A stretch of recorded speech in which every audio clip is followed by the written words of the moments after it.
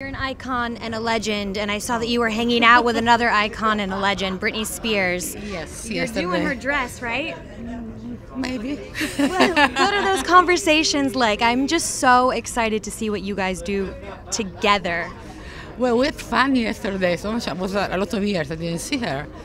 Last time I saw her, she was in Milan. She was my guest uh, one show in Milan. Yeah.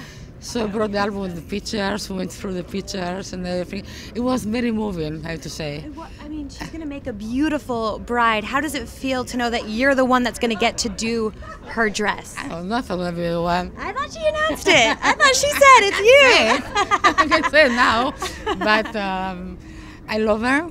Uh, For me, she's like I'm very close to her. To her and Sam. Sam is a great guy, and uh, I- wish her the best.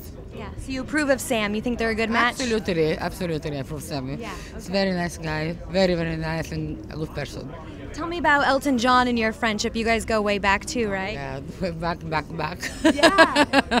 25 years maybe, something like that. Yeah. We've been uh, through hell and back, me and Elton, and uh, he was one, one who helped me a lot at one point of my life. As I need help, um, I found Elton next to me. He's, a, he's that kind of person, he's that kind of heart. You understand when you need him, he's there for you. And look at you, now you're here at his party. What goes on inside this party? What makes it special?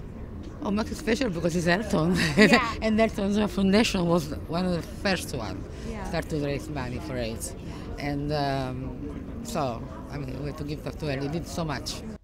Thank you for watching. If you want more extra, hit the subscribe button and the bell so you'll never miss a video.